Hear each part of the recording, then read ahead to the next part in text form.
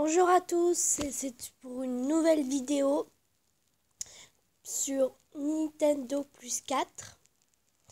Euh, alors, le titre c'est, comme vous l'avez vu, comment faire pour avoir des bébés dans Nintendo Plus 4.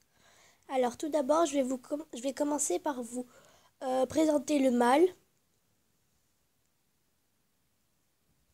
Ricky.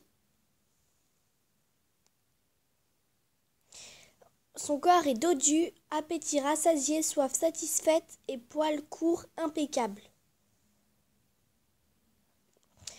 Ce mâle est très sage et adore faire de l'exercice, comme vous le voyez, 812. La femelle, Tina. Bien sûr, euh, mes euh, animaux sont des bulldogs français. Son corps est dodu, son appétit satisfait son poil court impeccable. Cette femelle est curieuse comme une, comme une fouine et rusée comme un renard. Moi, en tout cas, ce que je sais, c'est que ma femelle est enceinte. Vous allez demander comment. Alors, très simplement, vous allez dans Inventaire. Vous allez dans shampoing. Vous prenez votre femelle et vous mettez l'éponge tout en bas.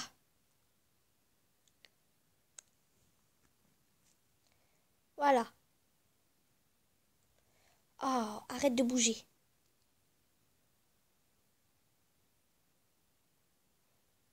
Voilà. Vous voyez où, où est son ventre? Ça veut dire qu'elle va bientôt avoir, elle va bientôt accoucher. Une fois fini, vous terminez de la laver. Ou une autre raison, vous allez lui donner de la boîte et vous allez dans balade. Ici, vous prenez votre femelle. Et moi, comment je sais? Très simplement, c'est que bah euh, je suis j'ai fait une euh, balade et elle était assoiffée. Il faut aussi trois corbeilles. Trois corbeilles ou trois paniers. Si vous êtes en hiver, vous prenez un, un poêle. Et si vous êtes en été, été, printemps, ventilateur, automne, hiver, euh, poêle. Et aussi, il y en a qui disent que de lait, que du lait, que du lait, ou donner que du boîte, que du premium. Non Vous lui donnez tout ce qui est pour eux. Lait, croquettes, boîte, premium. Mais ne lui en donnez pas trop des boîtes. Une fois par jour, ça suffit. Et, de, et inverser boîte, croquettes, boîte premium. Voilà. Aussi, n'oubliez pas de mettre une écharpe et un accessoire sur les cheveux pour la femelle et un, accessoire, des lunettes ou un chapeau en cuir pour le mâle.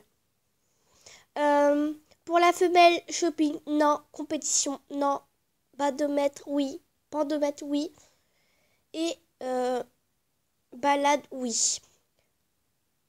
Au revoir, je vous dis.